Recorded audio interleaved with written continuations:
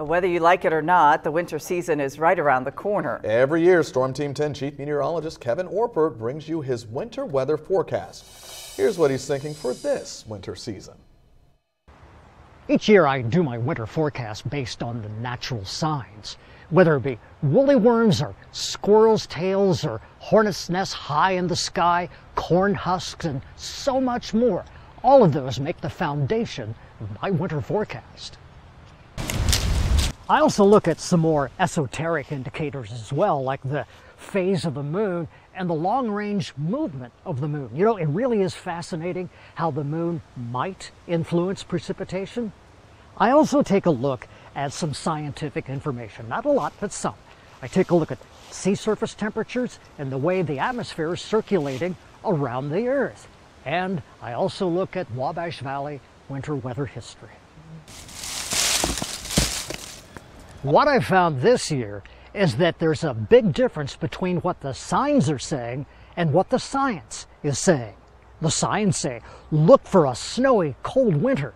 The science, maybe not so much. So I decided to ask some people which they trust more, the signs or the science. I like the signs. Signs. How about you? Uh, signs. Ah. Well, science or not, I continue to believe that the science can give us a really good clue about what to expect for the coming winter. So my winter forecast this year is based a lot on the signs with just a little bit of science. So if you're looking for a winter that's going to be cold and snowy, you're probably not going to get it. That doesn't mean we're not going to have cold and snow, just won't be all that consistent. So here is my month by month forecast. This year's winter will be warmer than average, with below average precipitation, and that means below average snowfall. We'll have occasional cold snaps, but don't expect extended periods of cold. December.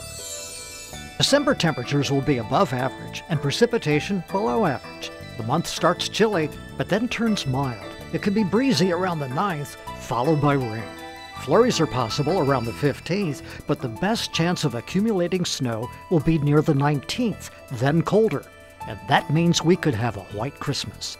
The month ends with flurries and breezy. January.